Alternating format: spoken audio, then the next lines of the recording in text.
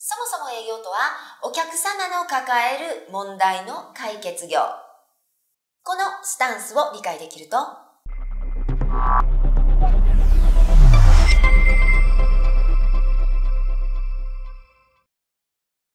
お疲れ様です。即決営業の江本です。今日は営業のスタンスについてお話をします。売上が上がらず悩んでらっしゃる方、営業初心者の方、ご参考にされてください。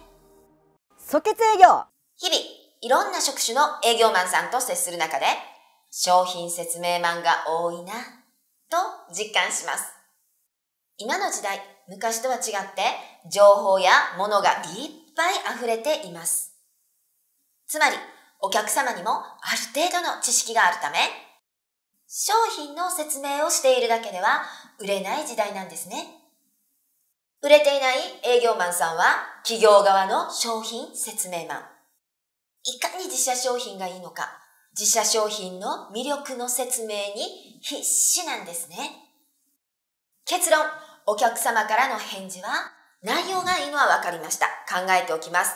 となり、いつまで経っても結論が出ないまま自然消滅という結果に終わってしまうのです。では、トップセールスマンはどうしているのでしょうか？どんな職種の方でもお客様のアドバイザー、お客様のコンサルタントという立ち位置で接しています。もっとわかりやすくお伝えすると、医者と患者の関係です。医者と患者と考えるとイメージが湧きますよね。そもそも営業とはお客様の抱える問題の解決業。解決策の提示として自社商品の提案を行うというスタンスなのです。このスタンスを理解できると、商談時のセリフも違ってきますし、もちろん制約率も上がります。売れていない営業マンさんは、それでは早速商品内容の説明をします。とスタートをして、とにかくマシンガントーク。一方的に喋りっぱなしでイエス取りをする誘導尋問のシャワーを浴びせていきます。お客様は退屈して、結果は惨敗に終わるのです。それに対してトップセールスマンは、とにかく上手に質問を投げかけてきます。今日、このようにお時間を取っていただいて、お話を聞こうと思われたのはなぜですか？と質問を投げかけ、商談をスタートさせます。質問をすることでお客様を喋らせるのです。基本、お客様は喋れば喋るほど気分が良くなりますので、心の扉を開いて本音を話してくださいます。その会話の中からお客様の解決したい課題に触れ、その課題の解決策を提案していきます。課題解決策の提案であれば、お客様も真剣にお話を聞くことができますよね。真剣に聞く耳を持って提案を受けていただくということが重要なんです。質問の仕方で制約率も大幅に変わってきます。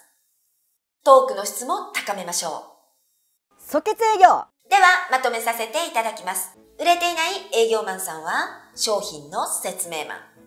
お客様にひたすら商品の説明をしてイエス通りに徹している傾向が強いです。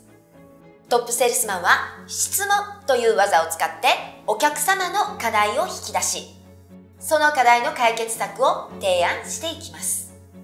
お話を聞こうと思われたのはなぜですか？という質問からスタートさせ、営業に有利な答えをおしゃべりされるよう導いていくのです。提案する側、つまり営業マンの年齢とお客様のご年齢、お客様の性別、社長様か個人様かで質問の仕方にも注意が必要です。威圧的に質問をして敵対心を持たれてはいけません。質の高い質問を投げかけていきましょう。皆様の即決力、制約率が上がることを願います。この動画から何を感じてどう行動するかはあなた次第です。あなたが成功することを我々即決営業にも応援させてください。我々即決営業はあなたの制約率をアップさせるため東京新宿セミナールーム大阪難波セミナールーム。ウェブ参加型のオンラインでの無料セミナーを随時実施しております。今より大きな売り上げを作りたい。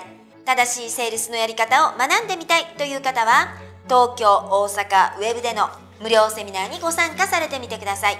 右上のリンクをクリックしてセミナーの日程をご覧いただきご都合の良い日程を選んでお申し込みください。無料でご参加いただけます。よろしくお願いいたします。あなたの商談数制約率が上がることを願っております。